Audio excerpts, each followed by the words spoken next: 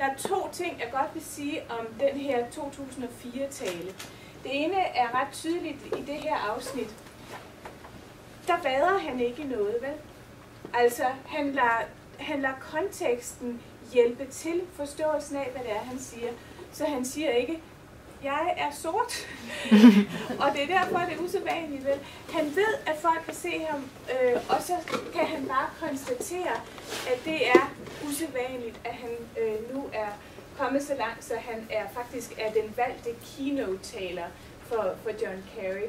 Så det er en ret subtil øh, og elegant måde på den ene side at få sagt noget og få inddraget det, fordi man gør jo faktisk opmærksom på det. Det er ligesom sådan en præteritio, ikke? Ikke for at tale om det og det, men og så får man det lige sagt alligevel.